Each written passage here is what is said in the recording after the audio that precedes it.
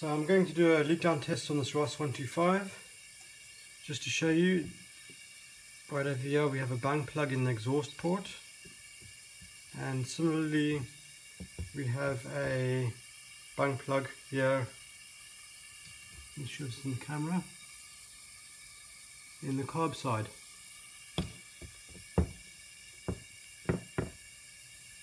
I also have a compressor and uh, 12 psi of air you're going to use to pressurize the crankcase. So uh, let's go ahead and plug this in and see if we can find any leaks. So I've connected up the pressure to the crankcase and now we proceed to paint everywhere on the engine, on the seals, on the casing,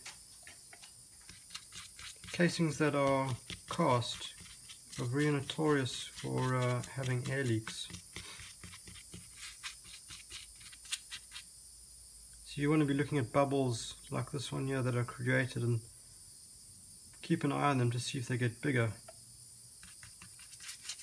You have to paint the entire casing.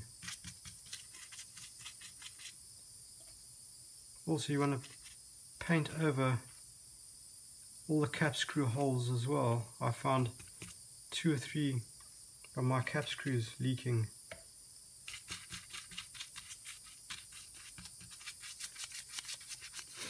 Paint also between the barrel and the crankcase.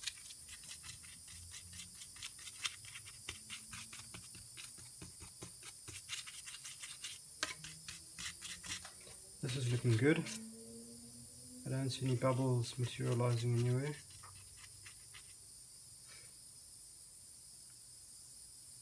That's a really good sign. On the crankcase cap screw to cover there.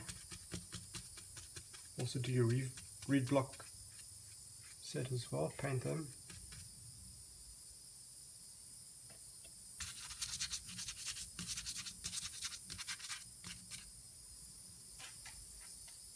Right, let's roll him over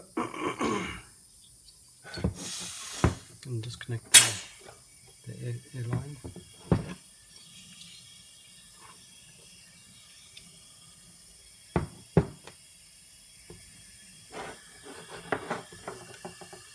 Bring that closer and hook up this side.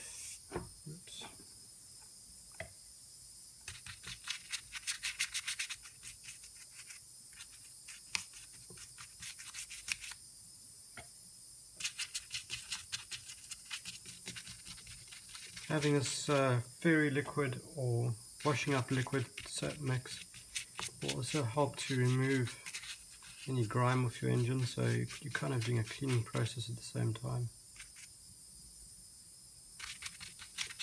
You can kind of froth it up as you're painting it to try and create some lather so that if any bubbles are materializing you'd see them forming. Again, cover the cap screws. Any gaskets you can find.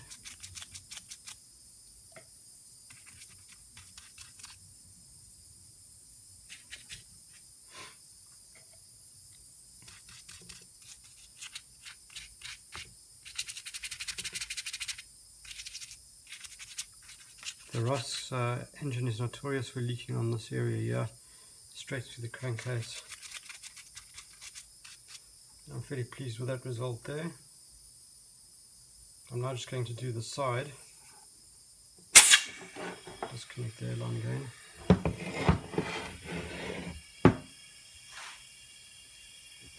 Let's see if I can get this up to show you the underside where the crankcase is good. It's very good to do that area as well.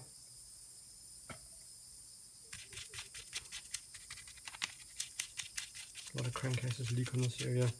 The best sealant I've found is the Japanese, I think it's called 123 Bond. Works the best out of all the ones I've found.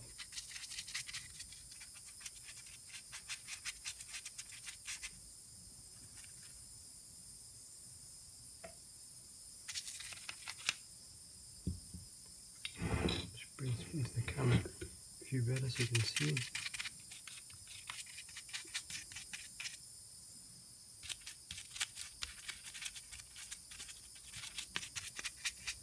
I have done a leak down test using the one-way valve that I have set up on the airline and uh,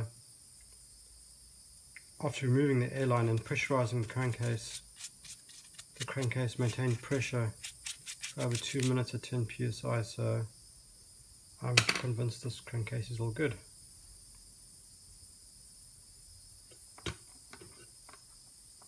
I think that's the end of the test. Thanks for watching.